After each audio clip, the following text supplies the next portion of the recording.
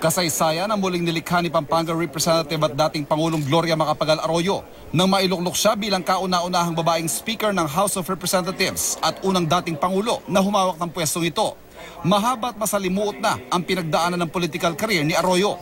Mula sa pagiging Assistant Secretary ng Department of Trade and Industry, anim na taong nagsenador si Arroyo at naging number one senator pa nga noong 1995 bago siya kumandidato at nanalong Vice President noong 1998. Pero nang tumindi ang mga alegasyon ng katiwalian laban kay Pangulong Joseph Estrada, isa si Arroyo sa mga miyembro ng gabinete na nagbitiw sa pwesto. At nang sumiklab ang EDSA 2 at napatalsik sa pwesto si Erap, I, your name, Gloria Macapagal Arroyo. Vice President. si Arroyo ang humalilim Pangulo. Nung una sabi ni Arroyo tatapusin lang niyang nalalabing taon sa termino ng pinalitan niyang si Estrada. Pero nang lumaon ay nagpasya siyang kumandidatong Pangulo noong 2004 elections. Si Arroyo ay direklarang nanalo sa isang proklamasyon na isinagawa sa batas ng pambansa daong alas 3 ng madaling araw.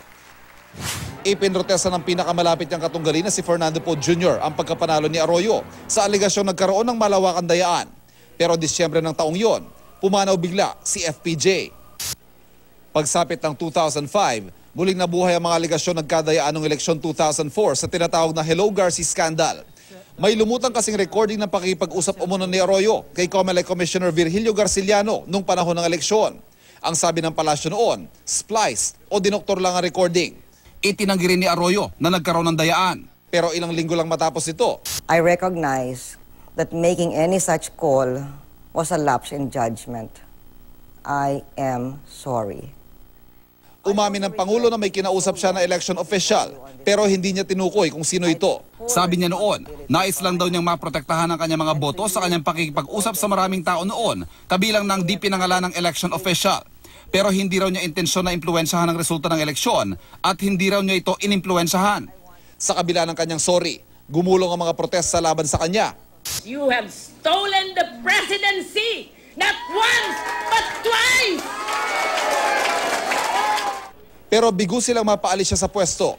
Hindi nagtagumpay ang mga impeachment complaint laban sa kanya. Matapos ang kanyang termino noong 2010, kumandidato at nanalo naman siya bilang congresswoman ng Pampanga. Pero pinaaresto at nakulong si Arroyo noong 2011 dahil sa iba't ibang aligasyon ng katiwalian, kabilang electoral sabotage, NBNZTE deal, fertilizer fund scam at ang PCSO fund scam na naging dahilan ng paghahain sa kanya ng reklamong plunder. Dahil daw sa kanyang sensitibong kalagayan, sa Veterans Memorial Medical Center na hospital arrest si Arroyo. Pangunahing dahilan daw niyan ang kanyang cervical spondylosis o ang pagrupok ng mga buto sa kanyang leeg. Kaya kinailangan siyang operahan at magsuot ng neck brace. Pero nang lumaon, isa-isang na-dismiss sa mga reklamo laban kay Arroyo. Nakapagpiansa naman siya sa electoral sabotage case at noong July 2016, pinalaya si Arroyo. At sakto sa ikatlong sona ni Pangulong Duterte, si Arroyo naging kauna-unahang babaeng House Speaker sa kasaysayan ng bansa.